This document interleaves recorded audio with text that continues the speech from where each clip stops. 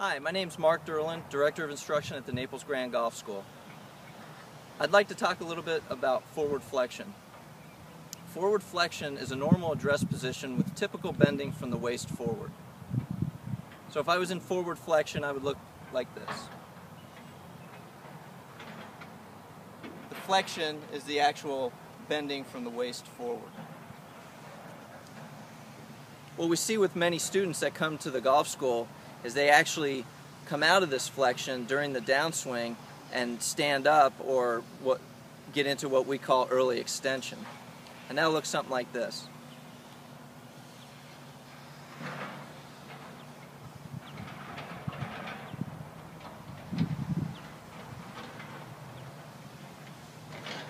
A tip or drill that we like to use is we'll talk to the students about feeling like they're aiming or pointing their belt buckle to the golf ball into and through impact.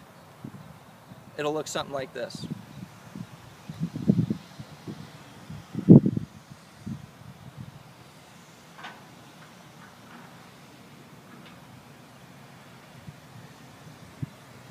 If standing up or early extending is something that you struggle with in your golf swing, try this little tip or drill. I think it'll help.